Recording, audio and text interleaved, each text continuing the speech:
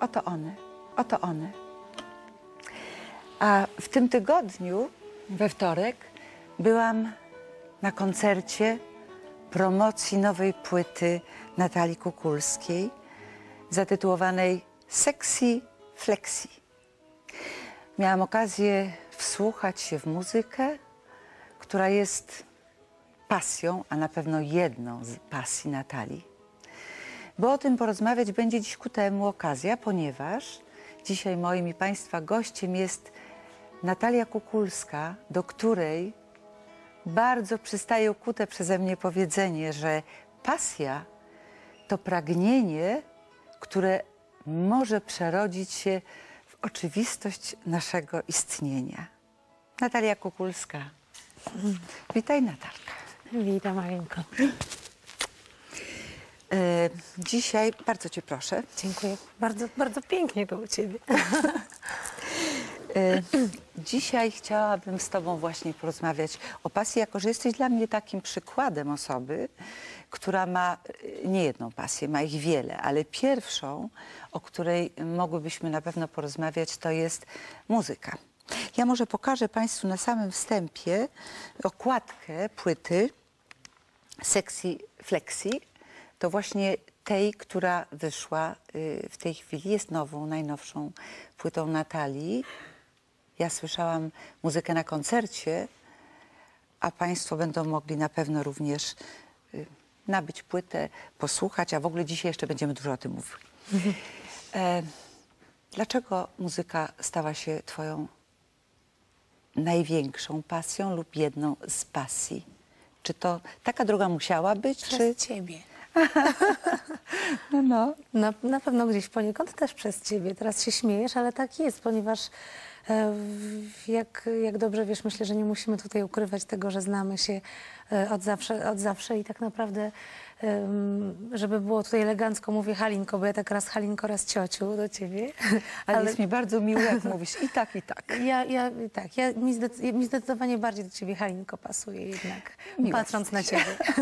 Ale y, zmierzam do tego, że w domu zawsze było bardzo dużo muzyki.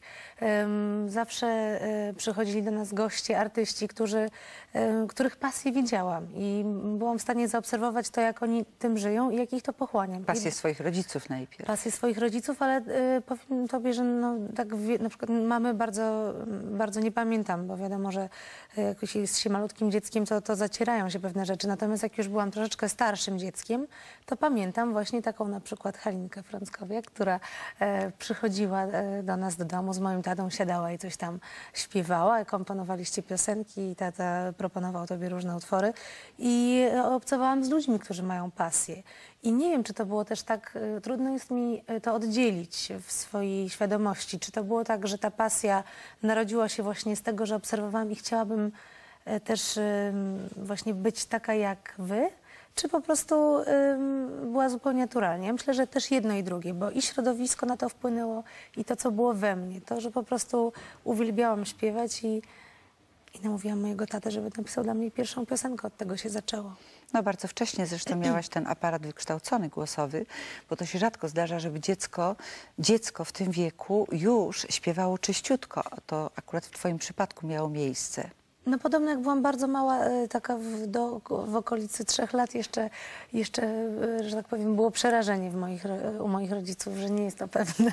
Co z tego, Ale- moja córeczka też teraz ma dwa, dwa i pół roku i no, uwielbia muzykę. Jak tylko wchodzi do swojego pokoju, to, to mówi mama włącz muzykę i, i chce cały czas słuchać, ale nie, nie, nie powiem ci, czy, czy jeszcze potrafi, czy potrafi już czysto powtórzyć. Chyba Do, do dzieci wrócimy, natomiast kolejna pasja, jak jeszcze, oczywiście, jeszcze chciałabym cię oczywiście zapytać o, o mm, taki bardzo ważny moment, y, kiedy wyjechałaś do Stanów i to jest takim dowodem na na wielką pasję i takie serio traktowanie muzyki, ale nim o tym będziemy mówiły, to mamy telefon.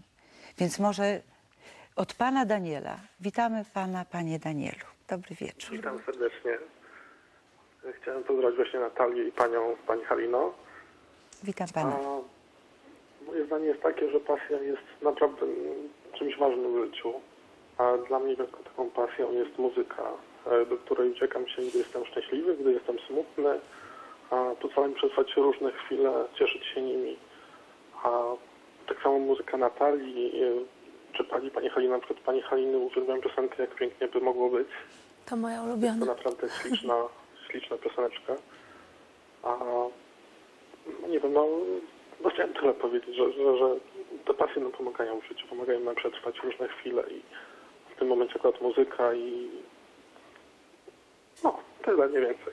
To prawda. To prawda, rzeczywiście ja, jak sobie przywoływałam z pamięci jeszcze taką muzykę, no może y, z, kla z klasyki, y, to właśnie no, ogromne pasje, nie wiem, w Beethovenie na przykład tak się słyszy, prawda, że to jest taki dynamit, że nawet jak się... Tak, bo pasję w muzyce słychać. Jak ktoś wykonuje muzykę z pasją, to jest chyba właśnie to, czego się nie da przeskoczyć robiąc muzykę, że nie da się oszukać człowieka. Od razu jak ktoś wychodzi na scenę, to widać, czy to jest jego pasja, Czy to jest jego robi to zawód. z innych, tak, czy to jest jego zawód. Zresztą w każdym. Pani e, pracująca na poczcie, może trudno powiedzieć, żeby praca, e, że tak powiem, tego typu mogła być pasją, ale też widać, czy podchodzi do tego z zaangażowaniem i pełnym do sercem, ludzi, czy nie. po prostu choćby do ludzi, prawda, Pewno, w że kontaktach. Natalka, ale chciałam cię właśnie zapytać o ten y, moment, kiedy wyjechałaś do Stanów i pojechałaś po to, żeby y, szlifować swój wokal. żeby być z pasją sam na sam, tak naprawdę, bo nigdy w życiu nie miałam takiego komfortu. Opowiedz o tym trochę. E, Pojechaliśmy razem z mężem, z, mm, z Michałem, e, e, który jest e, perkusistą. Pojechaliśmy do szkoły w Los Angeles, do Musicians Institute. Ja w Instytucie Wokalnym, on perkusyjnym. Zrobiliśmy sobie taki wyskok jakby troszeczkę do, właśnie do naszej pasji. Be, beztrosko zajmowaliśmy się przez trzy miesiące muzyką, na co nie mamy szansy tutaj, żyjąc w takim natłoku spraw naszych zawodowych. Bezkarnie zajmowaliśmy się nią od rana do wieczora, oczywiście ucząc się, będąc otwartym na ludzi, na nowe wpływy. I to był jeden z najpiękniejszych momentów, e, etapów w moim życiu. E, Czułam, jak, jak się rozwijam, jak się, jak się właśnie otwieram na, e, na nowe. I, I do tej pory z tego czerpię. Tak naprawdę to były moje pierwsze lekcje takie profesjonalne śpiewu. Tam się nauczyłam różnych technik, czy tego, jak głos rozgrzewać się. Z, z tego korzystam do dziś. To był naprawdę piękny moment i, i polecam każdemu zrobić sobie taki, taki sam na sam z własną pasją. To daje strasznego kopniaka. Ty akurat masz tego typu rodzaj, taki rodzaj głosu, który jest naturalnie, miała to również twoja mama, Ania Jantar, y, naturalne, naturalne postawienie głosu, tak rzeczywiście mogłaś ćwiczyć technikę otwierania czy jakiegoś, prawda, No na rozgrzewania pewno, roz, się, ale- rozgrzewania, przygotowywania się, bo jak, jak wiesz, może, może głos być naturalnie postawiony, ale można sobie śpiewając y, nie wiedząc jak, go. tak bardzo szybko go Zedrzeć. popsuć. Natalka, ja oczywiście będę cię pytała o kolejne pasje, ale mamy jeszcze jeden telefon. Oczywiście. Halo, mamy telefon od pani ze Szwajcarii. Bardzo Dobry miło. wieczór. Czy pani nas słyszy? Tam szaleją wiatry Jeżeli pani straszne. nas słyszy, to proszę coś powiedzieć do nas. Aha, Chyba- no chyba niestety nie. się nie, nie, nie połączyła pani.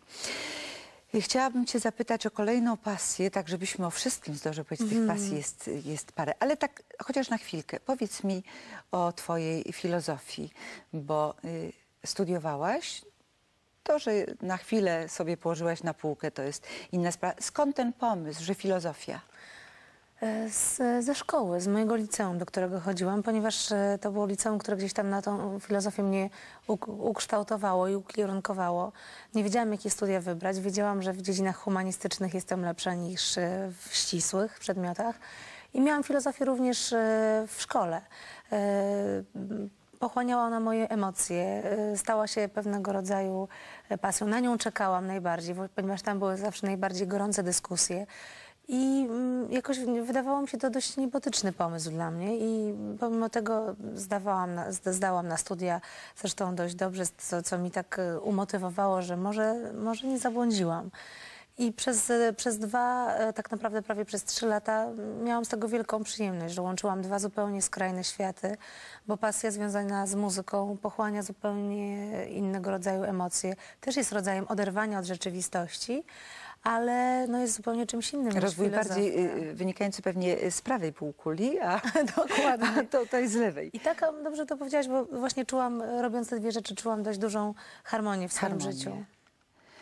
E, Filozofia jest akurat też takim mm, kierunkiem, który mnie ogromnie fascynuje.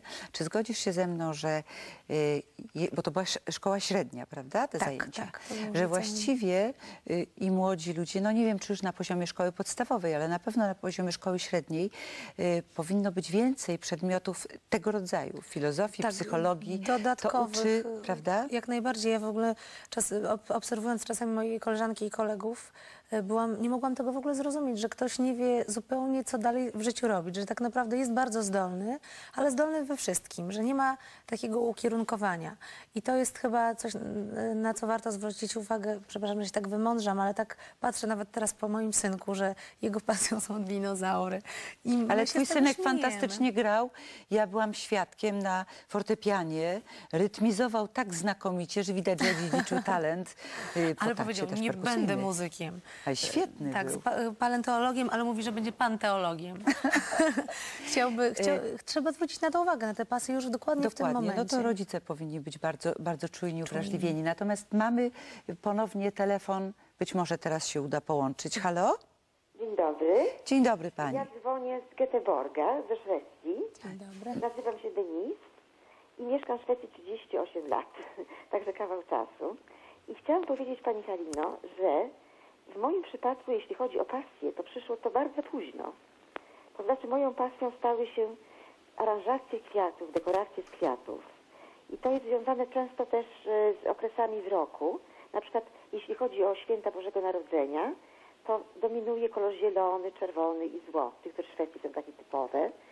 I ja mieszam, ja mieszam świeże kwiaty, ja mieszam kwiaty doniczkowe, ja mieszam kwiaty sztuczne i robię z tego jakieś różne aranżacje i tylko moja fantazja jest moim, że tak powiem, nauczycielem.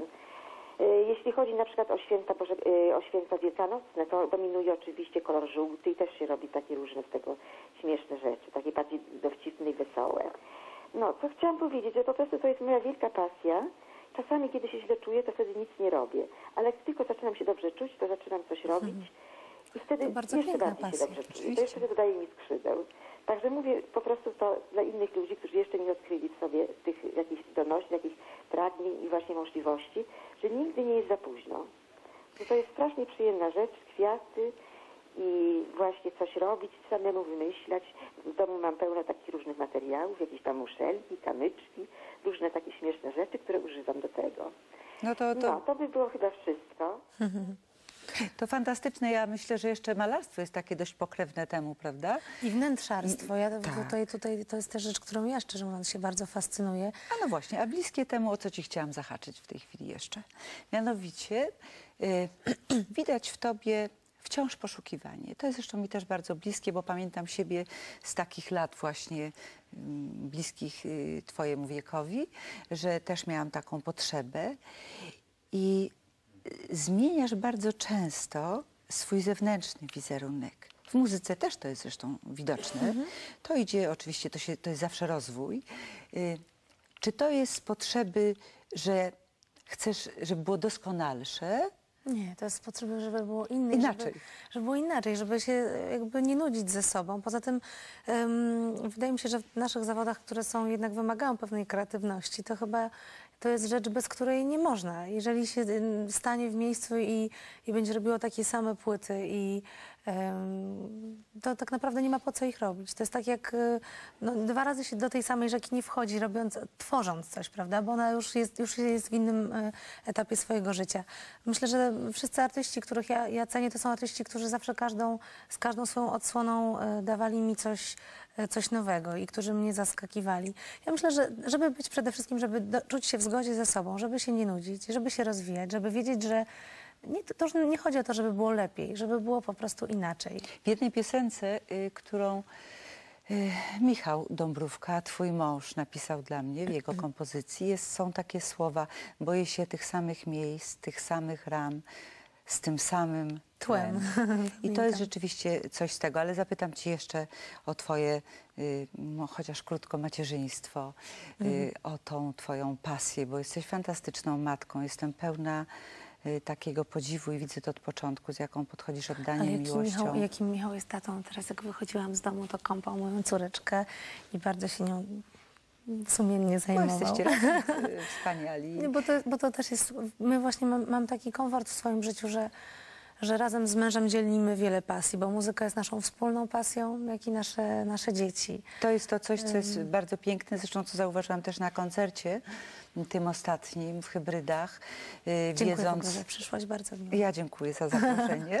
Wiedząc, że, że Michał właśnie tam jest i gra również, jest to w ogóle, ja mówię, ym, Bóg perkusji. To jest w ogóle coś fantastycznego. I, i, i to, to, co właśnie tak silnie was łączy, niezależnie od małżeństwa, od dzieci, od miłości, od tego wszystkiego, właśnie ta pasja w muzyce. I to jest bardzo doskonale słyszalne. Jeszcze raz powiem, sexy, flexi, a na, na zakończenie naszej rozmowy, bo na, na dzisiaj mam nadzieję, że jeszcze zechcesz przyjąć kiedyś moje Nie, my, zaproszenie. my tutaj to w ogóle zostaniemy sobie. My tutaj po, w ogóle tak. zostaniemy, później dokończymy jeszcze wiele, wiele tematów. Natomiast chciałabym Państwu sprawić przyjemność sobie także, no Tobie myślę też, Y, a żebyście Państwo mogli obejrzeć najnowszy teledysk z tejże właśnie płyty Sexy Flexi. Natalia Kukulska. Bardzo Do dziękuję. widzenia, Natalio. Bardzo dziękuję. Dziękuję. Mua.